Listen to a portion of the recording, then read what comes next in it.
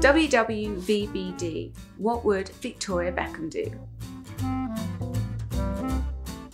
What would I wear for Pride? Not very much, other than some nipple tassels and a thong.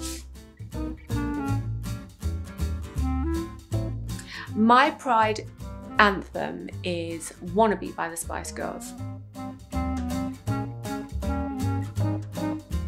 What would my drag queen name be?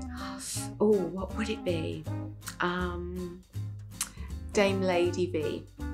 Tough like a ninja, sting like a bee. My Pride beauty look would be a lot of makeup, big lashes, a big blow dry, a fabulous outfit, very, very, very, very, very high heels, and a little tiny Posh Spice black dress. My Pride drink of choice would be a picante, of course, because they're spicy.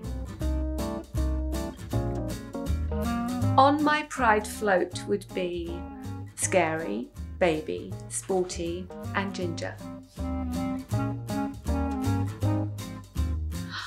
Who is my Pride icon? I mean, there are so many. Is it Dolly? Is it Barbra? Is it is it Cher? How do you pick a Pride icon? But if I can only pick one, it's got to be Barbra. I love bags.